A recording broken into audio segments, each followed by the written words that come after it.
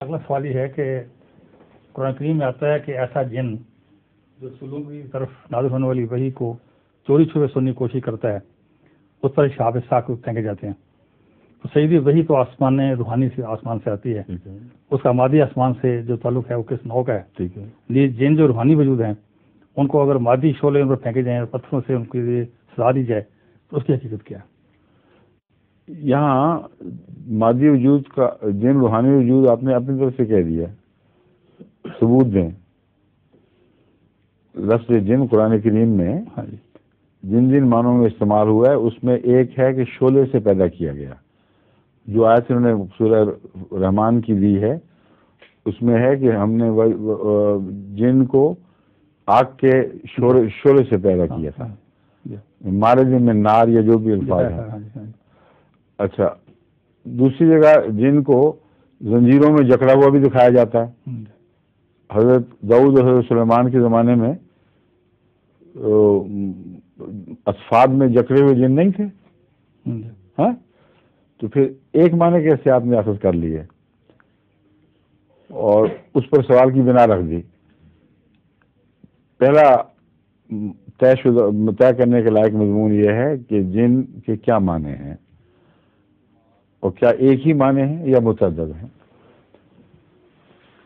और अगर आप हज़रत इमाम रागिब से लफ्ज जिन या जान देखें तो वो लिखते हैं कि प्रैक्टिकली उनकी तारीफ़ ये है, अल्फाज एग्जैक्ट तो मुझे याद नहीं, कि हर वो चीज़ जो नंगी आँख से दिखाई न दे।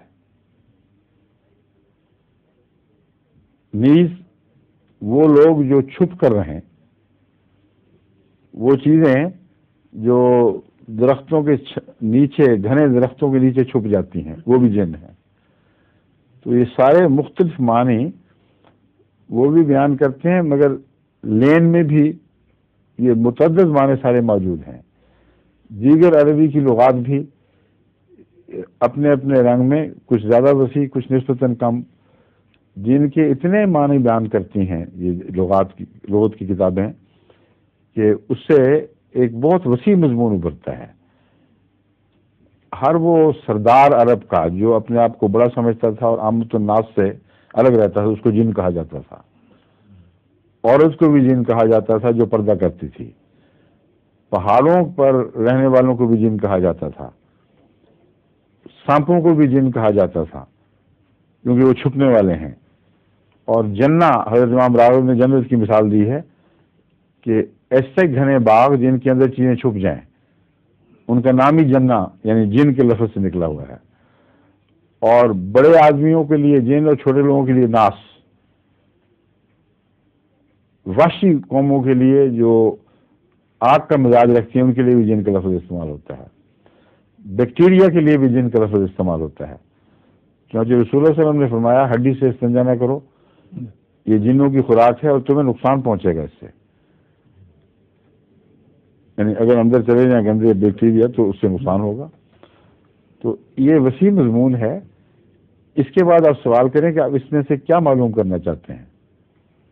वो जिन जिन- सब मानों के बाद? हाँ ऐसे जिन जो उसकानी वही को इल्ला मन इस तरह का समा। हाँ ये वो जिन हैं जो। बागी मिजाज लोग जैसे इब्राहिम हज़रत आदम की मुखालफत करने वाला जिन था काना मिल जिन ने फतका मुराद ये है कि शैतानी सिफात का आदमी नारी सिफात का आदमी वो वही की ताक लगाता है और मालूम करना चाहता है कि क्या क्या बातें ये बयान हो रही हैं। हम्म, और फिर एतराज़ की नीयत से उसकी रजू रखता है। उसके खिलाफ अल्लाह ताला ऐसे ऐसी चमकती तलवारें अपने नबी को और मामूर को अदा कर देता है। जैसे कि आपके नाम में लफ्ज दाखिल है इसलिए मैं कह रहा हूँ खालिद सैफुल्ला हाँ जी। लेकिन आपने जो तबरक नाम रखा है वो खालिद सैफुल्ला था एक तो इस दौर में हज़रत मुस्लिम ने इनके वालिद को खालिद का लकब दिया। इमाम साहब मुजीब मुजीब साहब के वालिद हज़रत मौलवी साहब को। तो ऐसे अपने गुलाम अता करता है जो उन पर टूट के पड़ते हैं शोलों की तरह। तो अगर रूहानी माने लेने हैं तो ये माने बनते हैं उसके। और वही की जस्तजू करना और उससे चीज़ें निकालना और अंदाजे लगाना ये सामरी ने भी यही किया था। उसने तस्लीम किया कि जो मैंने किया मैंने तो आपका अंदाज देखा और किया किस्सा करते हो तो एक दावा वैसा मैंने भी बना लिया है। तो ऐसे लोग जो रूहानी तौर पर खलल की खातिर फितने की खातिर वो आसमानी वही की का तजस्स करते हैं और उसमें रखना डालने की कोशिश करते हैं। उन पर शोहब साकिब उतरते हैं। यानी खुदा तला के वो बंदे जिनको खुदा तला उनको जलाकर भस्म करने की ताकतें अता करता है। और एक शोहब साकिब वो हैं जो हमें आँखों से दिखाई देते हैं। और वो भी जिन्नात हैं जिनके ऊपर वो आग बरस रही है। इसलिए कि आप लोग चूँकि इस तफसील से नहीं देखते बात को भाई आप लोग नहीं बात लोग तो उलझन पड़ जाती है। वो जो शोला है, वो पीछे आ रहा है।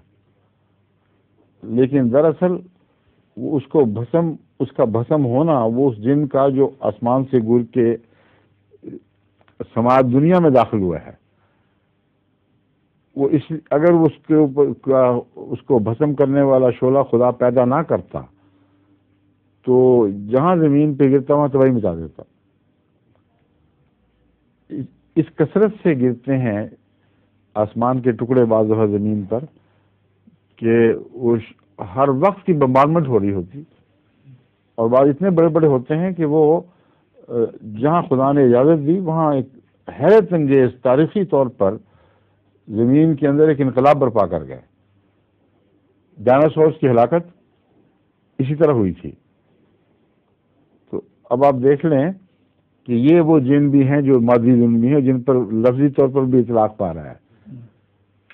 क्योंकि इंसान ने ये देखा आँख से कि उसके पीछे शोला आ रहा है। और इसी नज़ारे को खुदा ने पेश कर दिया, जिसकी हर आदमी आँख गवाही देगी। लेकिन साथ ये बयान फरमाया कि उसको जलाने की खातिर अगर वो पीछे ही रहता तो जला कैसे सकता? वो शोला उसके अंदर पैदा हुआ है, जो पीछे रह रहा है, उसकी रफ्तार की वजह से। और लगता यह है कि उसकी पैरवी कर रहा है। और पैरवी करता भी है, जिस चीज़ के अंदर शोला है, जो आगे भागेगा तो पीछे रह जाएगा। उसकी, अब कोई औरत भागेगी तो दुपट्टा उसका हवा में उड़ेगा। बाद कमीज और कपड़ा उड़ता है पीछे। तो है तो उसी का, मगर लगता यह है कि पैरवी कर रहा है। तो बड़ी पिक्चरस्क ज़ुबान है। लेकिन अगर आप हकीकत को समझ जाएँ तो ज़ुबान बरमहल भी है और तस्वीरी भी है। लेकिन अब बिया के आने के बाद भी बात आसमान से कसर से तारे टूटते हैं। उनका भी अलग वो, वो तो माजी है। ये तो निज़ाम है उसको सिर्फ़ इंसान के शूर को बेदार करने के लिए बयान किया है। वो जो शोहब साकिब वाली बात कर रहे हैं मसीम की उसके मतलब बाइबल में भी पेशगोई थी और उस दौर के अखबारी हवाले मौजूद हैं। कि जिस कसरत से अब ये शोहब साकिब टूटे हैं, वैसे हमारी इंसानी तारीख में महफूज नहीं कोई बात। इसलिए शोब साकिब का गैर फितरी होना तो गलत है तो खुदा कुरान करीम उसको कभी भी गैर फितरी तौर पर बयान नहीं कर रहा। ये फितरत के मुताबिक है बात, जो खुदा ने फितरत पैदा की है, कानूनी फितरत। लेकिन अगर पहले पेशगोई हो और फिर वो हो जाए तो ये निशान है शोब साकिब अपनी ज़ात में तो कोई निशान नहीं है। रोज़मर्रा का वाक़ है। अब जल्जले की पेशगोई में ने फरमाई आलमी, और आलमी जंग जब ज़ाहिर हुई चौदह में तो इसलिए वो निशान थी कि पहले बयान हो चुकी थी, उसकी इलामतें बयान हो गई थी। इसलिए नहीं कि आलमी जंग हो गई, चलो ज़रूर कोई निशान हो गया तो पहले पेशगोई होना ज़रूरी है, उसकी ऐसी इलामतों का ज़िक्र होना ज़रूरी है जो इम्तियाज़ रखती हों। और जब वो इम्तियाजी इलाम के साथ आएँगी, फिर ये पेशगोई जो है, ये निशान बनेगी। ठीक है? घुमाइए। जहूरे